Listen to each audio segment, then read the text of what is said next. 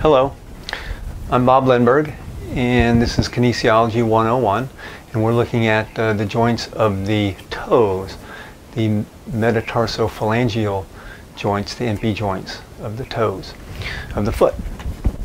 And it actually forms the knuckles right here. We're talking about these here.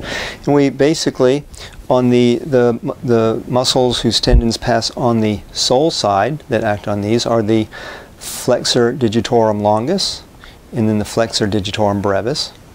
On the other side, uh, the muscles that cross on the top of the foot are the extensor digitorum longus and the extensor digitorum brevis. And we use these um, in, in walking in the uh, push-off phase. The flexors shorten, they're the agonist, and then there's a release of those, and then the extensors shorten and engage for the swing phase. And really the reach, the reach in the, um, in the swing phase is initiated and carried through by the lumbricals. Um, but we won't consider that now. We'll say that for another time where you can look at it yourself. Thank you.